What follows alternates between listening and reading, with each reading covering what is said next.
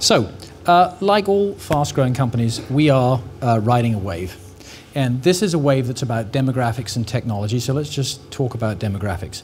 Uh, Three billion people are entering the middle class globally. Um, they are older, more urban, more affluent than ever, and they carry a massive burden of chronic disease. It's dementia, it's depression, it's diabetes, it's everywhere, and all of these people want access to health services. Now, a healthcare person in the room looking at this wave, you might start to panic because the UK already spends a million pounds an hour treating type 2 diabetes. How could we possibly afford more? Global healthcare today is roughly 7 trillion. Can it be 20 trillion by 2025? Well, the answer is don't panic. Uh, every one of these 3 billion people that are entering the middle class will own a smartphone. They will all know how to use it. This is the most powerful digital platform ever conceived for healthcare. Don't let bureaucrats slow you down and talk about digital divide. Most of the content on Facebook is created by people over 70, not under the age of 17, and most people with a smartphone make less than $10 a day. So, I have an invitation which is come and ride this wave with us. And we can stop the wave and talk about the future. So, in the 20th century, what we built was a sick care system, and it was designed to address the key challenges we had at that time, which were basically acute disease and trauma. And it was based on the very best technologies that we had in the 20th century. So it's buildings where you plug into electricity, because electricity was the great new utility of the 20th century. It's educated people with knowledge in their heads, because education was a great 20th century invention. And products that are tested in everybody to be safe and that work in somebody. In the 21st century, we are going to build a healthcare system, and it won't replace the sick care system, but it will complement it, and it will deal with the challenges that we have today, which are mainly chronic disease. Buildings, where you plug into electricity, are going to become mobile devices where you log onto the internet. And people with knowledge in their heads are going to become software and servers with intelligence in the cloud. And products that were designed to be safe in everybody and work in somebody are going to become services that are tailored to you, your genes, your lifestyle, and your behavior. That is what we call digital health. And the big question is how do you make that a reality. If you want people to shift from a paradigm that's about building people product, I go to a bookstore to see a clerk to buy a book, into a paradigm that's about mobile device, software, service, I go to an iPad, use software, download content, you need a hinge. You need an engagement trans transaction that is high frequency, high value, almost frictionless, that reflexively takes consumers from the physical to the digital space. Now, in e-commerce, that turned out to be buying a book. And in music and media, it turned out to be downloading a song. What is it going to be in healthcare?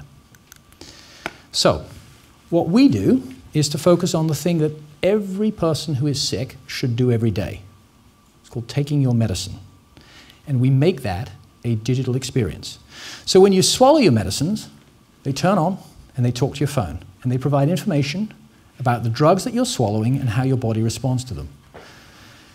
Your medicines take you to the digital space, and when you are there, we take you on a digital journey. It's just the beginning. So, a song to Apple. You go to your iPhone, you download a, so download a song, and Apple takes you on a digital media journey. A book to Amazon. You go to your Kindle, you buy a book, and Amazon takes you on a digital e commerce journey, a drug to Proteus. You go to your Samsung tablet, you check on your mum's heart failure, and we take you on a digital health journey. How do we do that?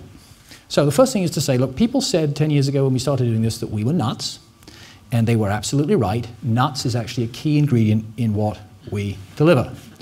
We have an ingestible computing platform that's made from dietary minerals. Basically, this device is made of a couple of cashews, a mouthful of halibut, and an inch of banana. It is specifically designed to be embedded in any medicine at almost zero cost. It's completely safe. There's no battery, there's no radio, there's no antenna. When you swallow a digital medicine, it turns on, and it turns on because you turn it on. So if anybody here has made a potato battery, and some of you may have, then a bit of copper, a bit of magnesium in a potato, create a half cell potential, you can light a diode. We have a few micrograms of copper, a few micrograms of magnesium. When you swallow the, one of these devices, you are a potato. Your body turns it on, creates power. We create a digital signal actually off the drug, uh, like a heartbeat, which we then use this band aid you see here to decode. And so the drug is going to have a completely unique identifier. It's going to say, hello, I'm here, I'm Novartis, I'm Diovan, I'm 1.2 milligrams, I'm plant number 76, and I am pill number two. If you took five, we get all five. The Band-Aid is a sophisticated FDA-cleared um, physiologic monitor. It measures your heart rate, your respiration, your body angle, your activity, your sleep, your temperature. Records all that data. It's paired with your phone. We use your mobile device as a sensing platform and a communications hub. We send it to the cloud. We send back information to you, your family, your doctor, people who you think can help you. All cleared by the FDA, approved by EMA, CE marked. Everybody very interested in creating new pathways to build new digital drugs. So we created a new digital NDA pathway that's a, a new way of bringing this kind of product to market. Why are people so interested? Huge leverage in terms of clinical outcomes and in regulatory science. I'll give you a case example. We're treating in the UK refractory hypertensive patients. These are people who are basically known to not respond to their medicines. They're refractory to therapy. They're at high risk of stroke, myocardial infarction. Uh, they've been through multiple drug regimes. Uh, we put these people on our system. Uh, it takes about two weeks. What we discover is that about 85% of them are fully responsive to drug therapy. The only little trick is they actually have to take it. Now, um, may sound a bit like science fiction. It's not. It is science. It's not fiction. Uh, it's actually happening in a really sophisticated location in the UK, well known, well, well known for leading edge technology. It's a place called Wisbech, which some of you may have heard of. Uh, and these patients are being cared for by really high end, regular National Health Service doctors. So it's a very simple system, very easy to use, creates really interesting value. What we're doing here is to combine ingestible computing with wearable computing, with mobile computing, with cloud computing to make a seamless solution that works for you where you live in ways you can see and understand.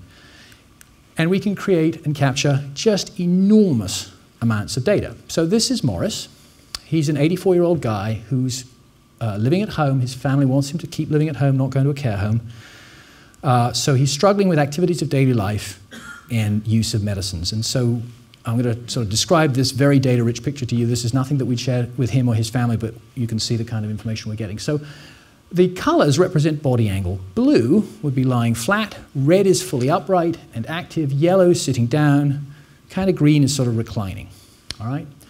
Uh, to the right of that picture, you've got his medication taking behavior. He's on two meds a day. If he was perfectly adherent, you'd have two straight white lines.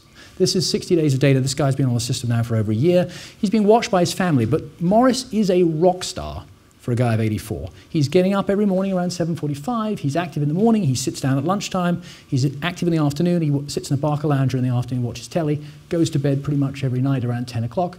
And he's pretty good apart from his morning dose. Pretty interesting data, right? And so this guy's okay, and he's being managed by his family. This, this is Derek. Does anybody need me to explain that?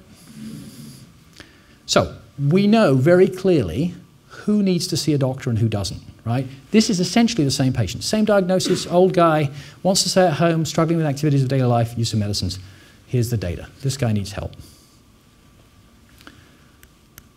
I'm going to wrap this up by talking about what I think this means for pharma. And this is a topical idea, I think, because I think there's some news about pharma companies right now.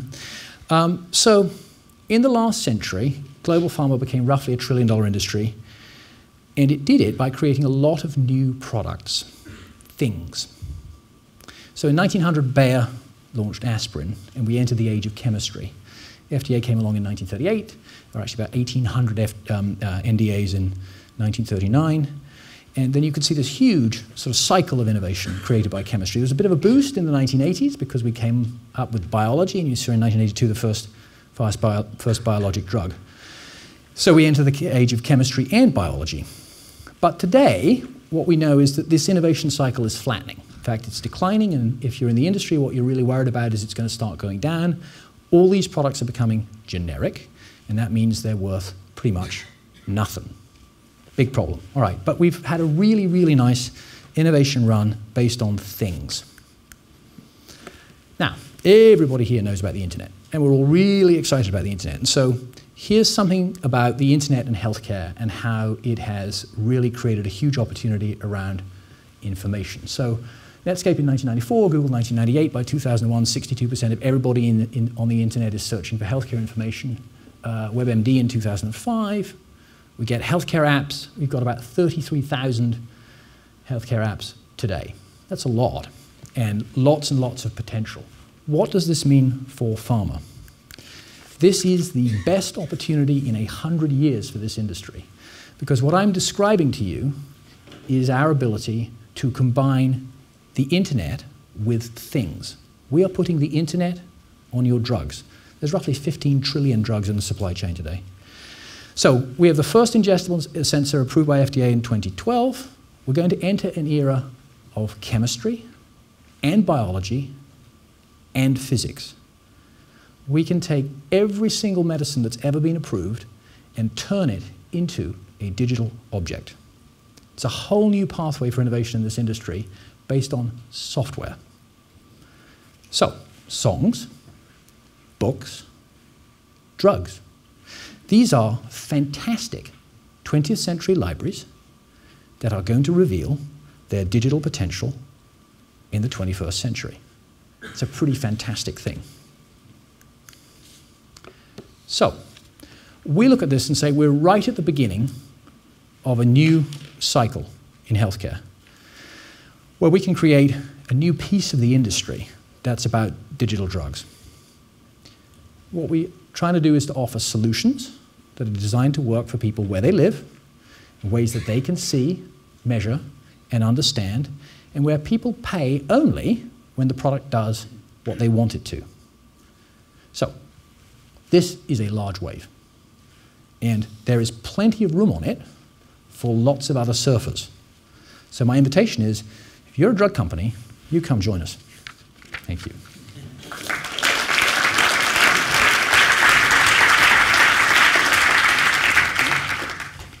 So Andrew, you're, you're kind of showing us, like, not the happy ending, but the happy middle bit of the journey. But it's not been a simple project you've taken on. Just to give us an example, or an idea of the scale of this, how much have you raised in the time you've been with Proteus? Yeah, so look, this is not a simple project. Uh, the FDA component here is very significant. Uh, so we have medical devices that de novo, that means there's nothing in the category, and we created the category, and then we have new FDA pathway. So the company has raised about $400 million to date, uh, but don't hold your breath because um, we'll be announcing something else later. Um, so yeah, we, we, would fully expect if you just sort of spec, spec this, you know, um, a single drug today is roughly four and a half billion.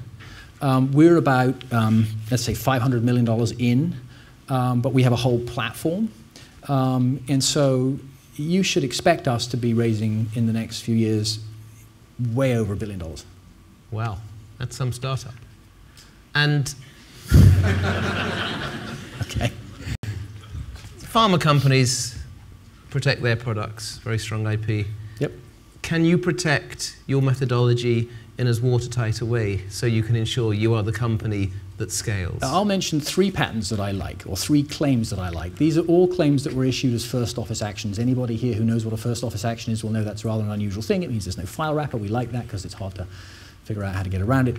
Um, claim number one that I really like is digitizing any drug in FDA's Orange Book. It's a great claim.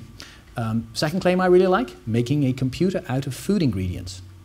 A third claim, it's more recent actually, uh, is um, uh, demodulating a non-physiologic signal from inside the body.